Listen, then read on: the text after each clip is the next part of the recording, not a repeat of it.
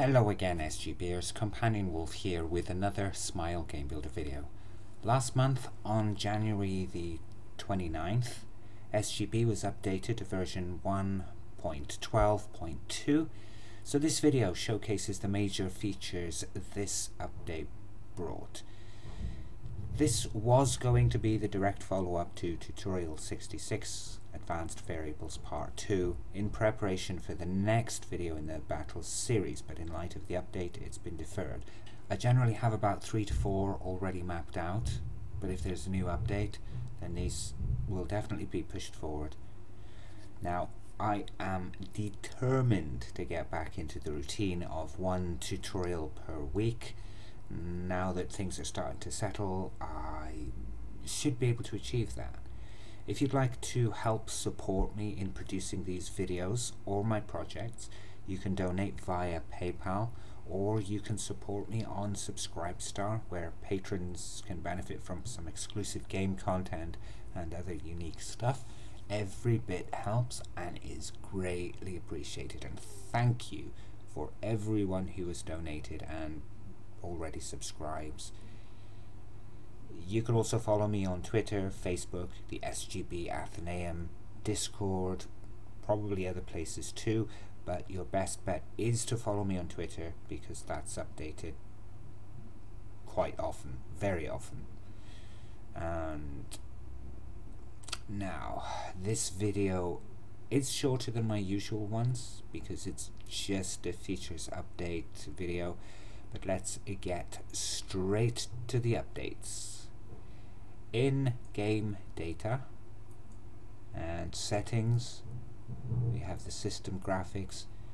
You can see there's a new section called battle damage numeric color.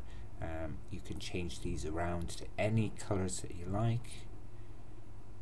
Um, now this uh, the default for the HP damage is white but I changed it to yellow and I changed the HP recovery to a more of a darker green. So these will be the font in the battles the font color in the battles. While we're in game data we can also go into characters and use the commands and there is a new feature here, a new function here called same effect as skill. And you can select the skill that you want from the skills tab. They will all appear here. So this might be useful if you wanted to create a unique skill specific to the character. As an example if we wanted to use uh, raise as the skill. The command name could be something like um, necromancy, which is focuses on raising someone from, from the dead. And then we can also choose an appropriate icon. Uh, let me see. Well, that one looks good. Or maybe we can have the Grim Reaper. That that sort of feels a bit more appropriate because both are to do with like raising the dead or something like that. Okay, so for uh, for an example, I'm going to create the uh, put the start point there and create an event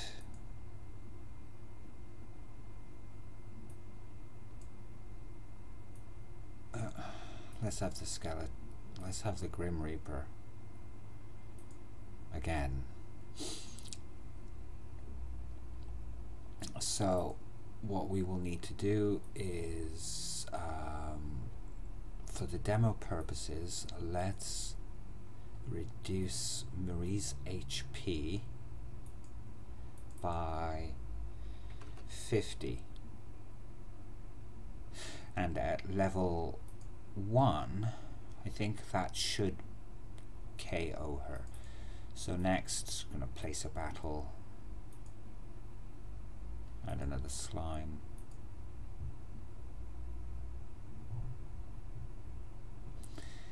And that should be good.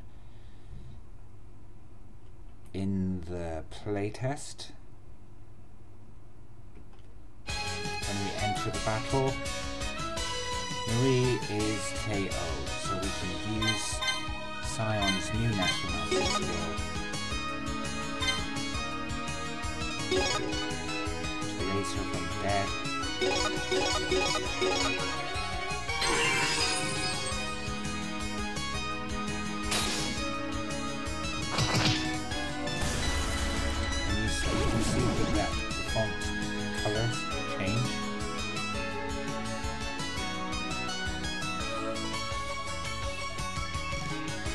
Oh, don't worry about this. This is bugged. So now, normal.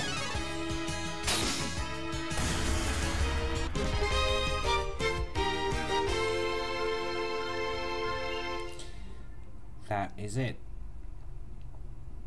The next one, um,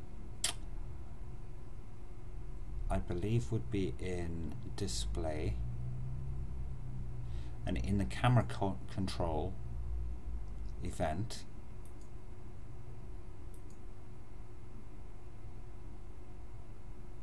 You can now change the camera speed directly from here. It uh, used to be in the battle settings from game data only but now you can change it from the event itself with the same effects. It's actually very useful for cutscenes, camera angles in, in battles, other enhancements and that. In tutorial number 11 I covered controlling the camera but I think in light of this it's severely outdated so it is time for an update to the cameras including the battle cameras sometime in the near future.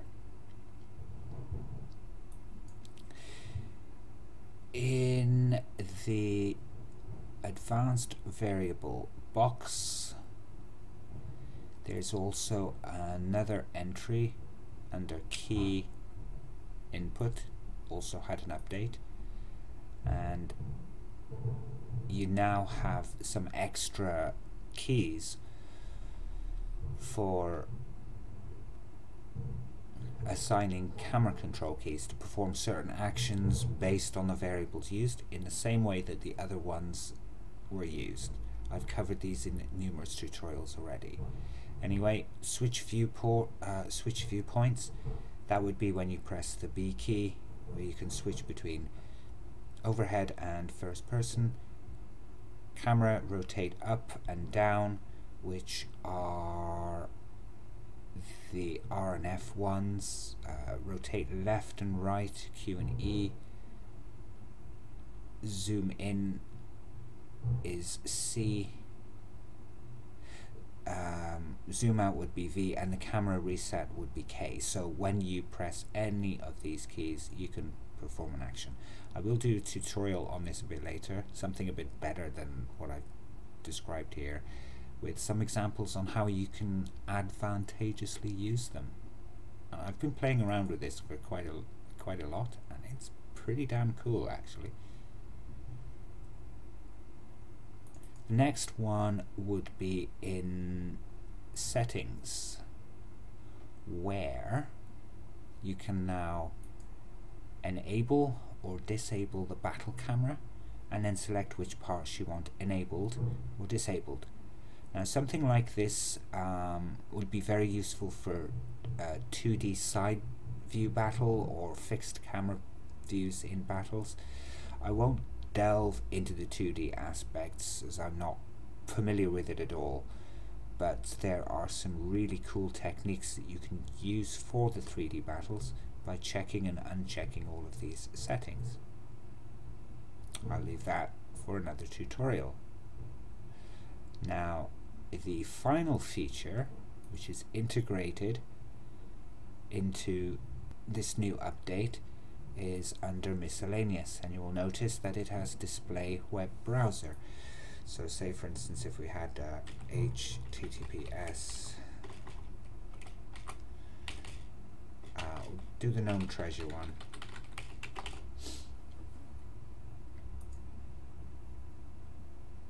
you can just uh, do it one time only say. It'll take some time to load as you can see but it'll open up an internal browser window which will display the URL now bear in mind that it is a beta version so it will not be perfect. These little script errors I think is because it uses um, Internet Explorer base which doesn't like JavaScript and this is kind of like why I absolutely hated that browser is because all of this crap was done. Um, but you can see it loads up fairly well. If you have a simple website, perhaps something created specifically for the game or something that promotes a presence online, such as your Twitter account, which I can quickly demonstrate.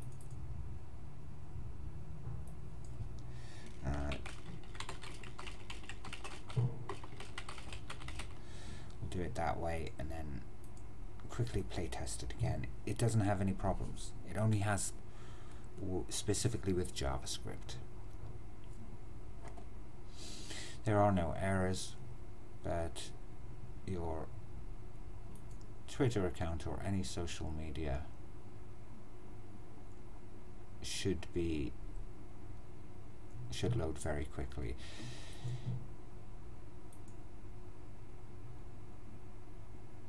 It is an awesome and very useful feature to have. With the up with the update as well, they they released at the same time um, a new DLC called Type B Friends with symbols. This is under the add assets and it should be under the DLC. It best of all, they released it free, so we can add all of the assets there are 18 characters, 18 new characters to play with. So, uh, just for the purposes of this, we can change it uh, to that. And it will be under here.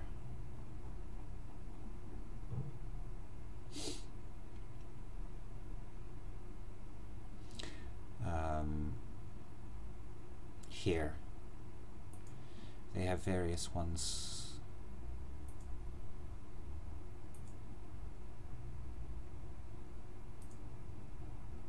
Really, really cool. But it also has some some markers as well.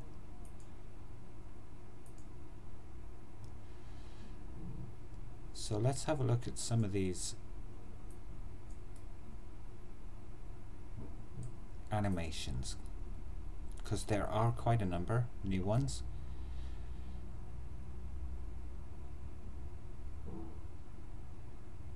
Oh, right. So the default ones um, there. Take phone.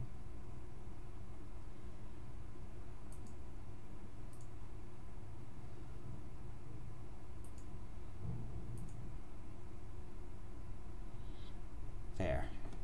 That one. That is cool. And look at phone.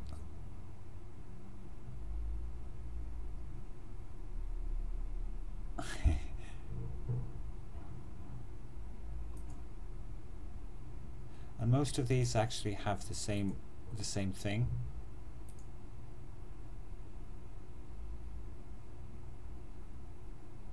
I guess that one would be take the phone and then hand in pocket.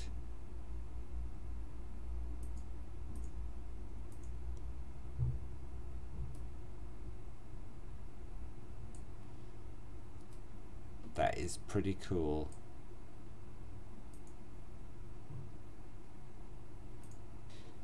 Anyway, that that is it. You have some new ones, and if you wanted to, I think these are good supplements for the G-Style Modern Resource Pack. I'm going to end this video here for now, bearing in mind that I've added more tutorials to the list, which I'll implement in future videos. In the tutorials suggestions channel in SGB Discord, I've marked which suggestions are planned for which tutorials and when they're done I'll put the tutorial number that they're included in there as well. This is more for reference and convenience than anything else for me and for anybody who wants to see that their suggestions have been put in tutorials or at least they can anticipate which tutorials. Anyway, the next tutorial will be the advanced variables, uh, part 3, focusing specifically on the trigger variables. And after that, we'll continue with the battle stuff, delving a little bit more into the battle events specifically. Now, a quick note I will not be creating a custom battle system yet. It'll take a lot of time and effort to create. We still need to go through those steps to build up to that point because you know it's pointless create, creating an ABS if you can't have any variables that reference things like HP. Anyway, in the meantime, if you have suggestions, please leave them in the comments here or in the tutorials suggestions channel in Discord that I mentioned previously. And also subscribe, hit the bell icon to be notified of when I upload new videos. Uh, your best bet watch my Twitter account for any updates. All of the links to my accounts, usual accounts, will be in the description below. That's it for now. Thanks for watching. Until the next time.